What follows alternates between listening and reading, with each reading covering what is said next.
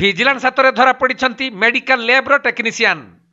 ଯାହାକି ସୁବର୍ଣ୍ଣପୁର ଜିଲ୍ଲା ତରଭା ଡାକ୍ତରଖାନାର senior lab technician Akshay Kumar Pattnaik ଆଜି ନଅ ହଜାର ଟଙ୍କା ଲାଞ୍ଚ ନେଉଥିବା ସମୟରେ ଭିଜିଲାନ୍ସ ଜାଲରେ ପଡ଼ିଛନ୍ତି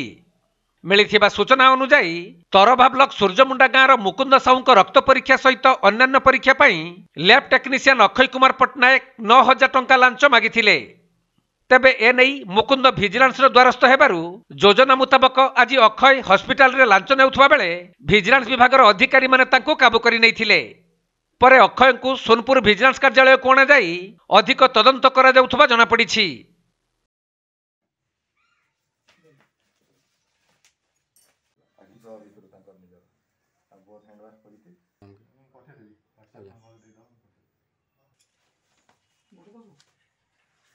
Thank you.